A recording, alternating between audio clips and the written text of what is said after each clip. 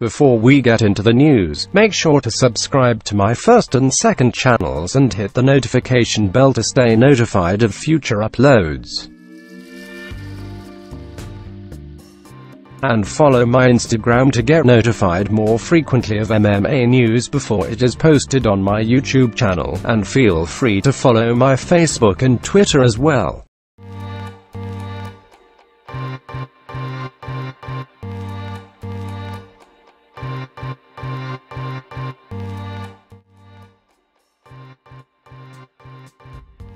MMA Fighting released a video of Conor McGregor appearing in Dublin District Court this Friday over assault charge for pub incident or him sucker punching an older man inside a pub in Ireland.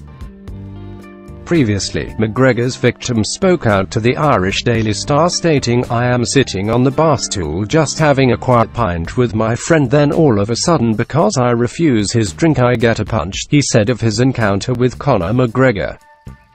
You don't need that in life. I don't like the man. I think he is getting a bad rep, the man added. He is a bit of a bully, a bully with money.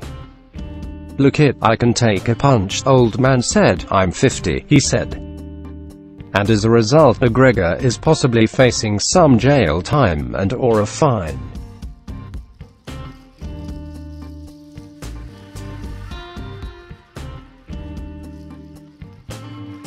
Next, Dan Hardy speaks out on McGregor's match with Khabib Nurmagomedov stating on SiriusXM, there are other fights that make sense for Conor.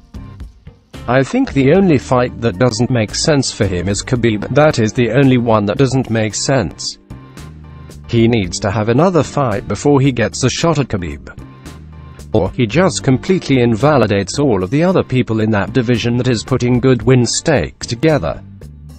Tony Ferguson's got to get the next fight, after that, Justin Gaethje is in line.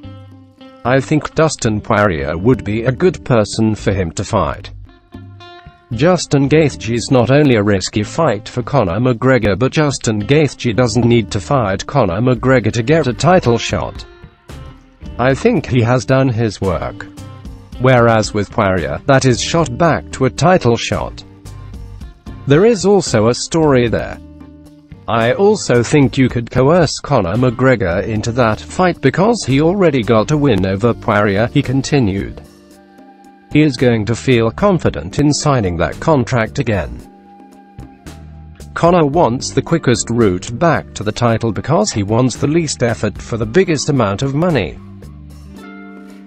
If he has to fight someone else which is the easier fight, which in his mind is likely Poirier,